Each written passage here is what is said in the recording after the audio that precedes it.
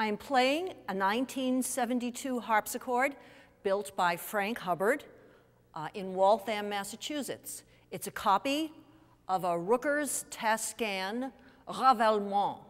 Now, the Flemish were the most, made the most highly prized instruments. And when the French started really improving their building skills, they considered the Flemish instruments the most wonderful. So they took the Flemish and they expanded them. They added another keyboard, they added length. This was called a ravalement.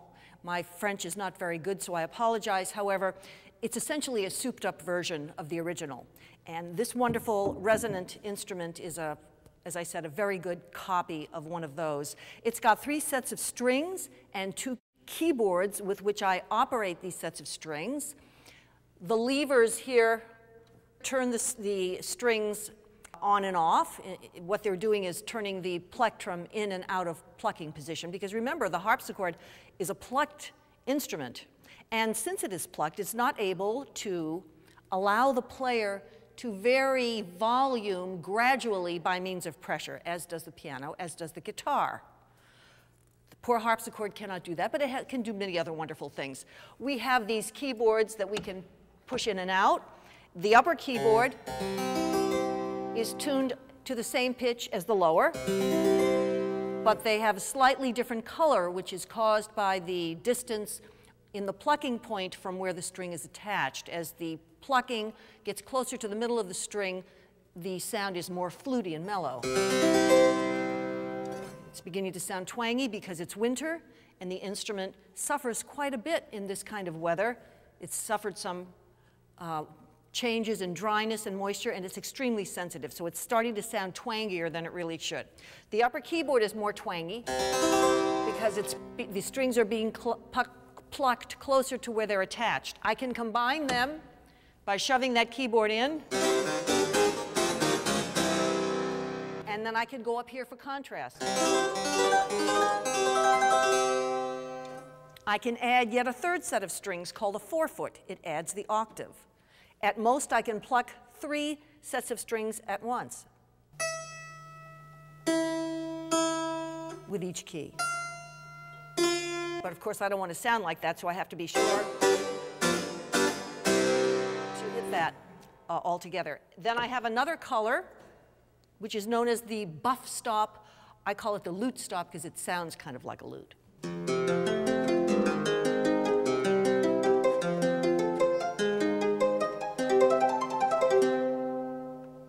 And it's very nice in combination with this, as we can hear in My Lady Carey's Dompe.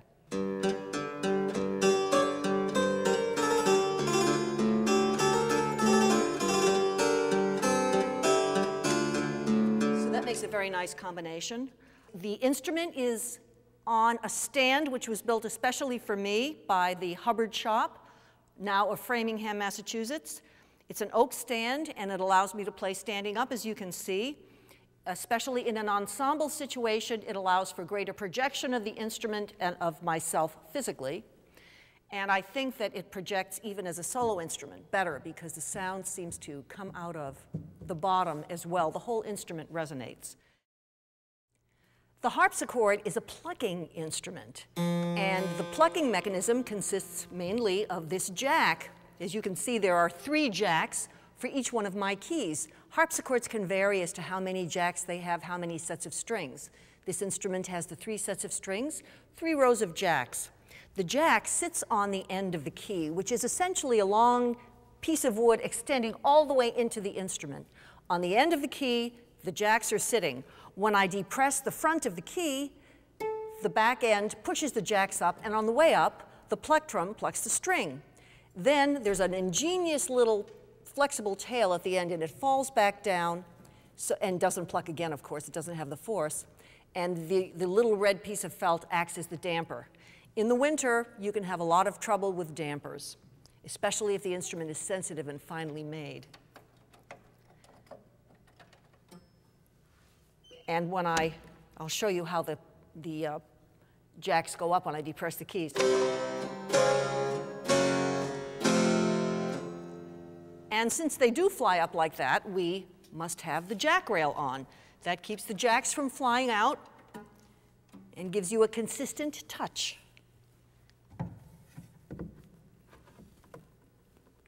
A lot of times the jack rail uh, over the course of many years with an instrument will shrink and then begin to rattle around. This one is still pretty tight.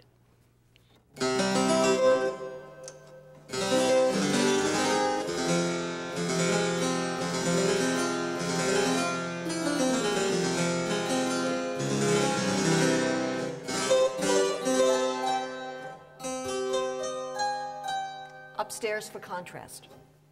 I don't think I have anything else to say except to thank you all so very much. Steve, the wonderful cameraman, and then David, who put the whole thing together, David Barnes, and Joel, whose name I, whose last name I can't recall, but, but he was fixing my microphone. Had to look down the front of my dress several times. And then John Ostendorf, of course, who was producing, and then there's a lovely light man whose name I can't recall, but he went for sandwiches, and of course we thank him too. And that's all I have to say, really.